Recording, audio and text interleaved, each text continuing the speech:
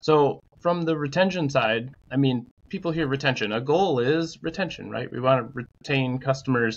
Could you be more specific on like what your KPIs are or what that actually like means in practice? Yeah, for sure. You know, I think it depends a little on the business. For uh, subscription businesses, you know, you're you're looking at uh, new trial start rates, trial converted rates, um, unsubscribe rates or cancellation rates.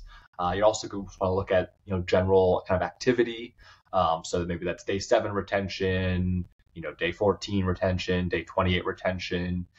And I think a base level that that retention metric could just be app opens or sessions or use of the product. And you, you do want to be measuring that. You want to get to a place where you're measuring retention in, in terms of the kind of core action in your product. So a little deeper than app sessions or a little deeper than just opening opening the product. So that could be viewing a piece of content or, you know, some some teams look at an actual transaction, not outside of subscription businesses, but kind of more transactional businesses. But but I think and that's the place where you want to get to where um, you know, how many times do you just open an app uh, accidentally or how many times do you open an app and go, you know, just close it immediately, where it's not you're not really retaining those users. And so at a whole, we're kind of looking at, you know, day seven, day 14, day 28 retention, um, average revenue per user uh, as a metric of kind of like the quality of those users. And then I think you also want to think about um, retention is a hard metric to move. Um, you know, it's it's very much influenced by kind of what your product is,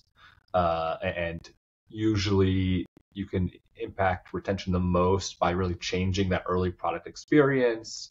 Um, also through messaging and lifecycle, uh, you often want to have kind of these proxy metrics or uh, more focused metrics to kind of move those top line retention metrics. And so like drilling down a bit in terms of, you know, not, not looking at day seven retention, but looking at something like did a user complete two of your core actions in the first seven days? Or did they open a piece of content? And so drilling down into those uh, uh, more focused metrics, take a step back. You, you want to make sure those metrics actually level up to your core metrics. And so proving out that that metric, that kind of, you know, two pieces of content viewed in the first seven days really impacts that core retention metric is the first step. And then you can drill down and go, okay, you know, let's focus on moving this with our push campaigns.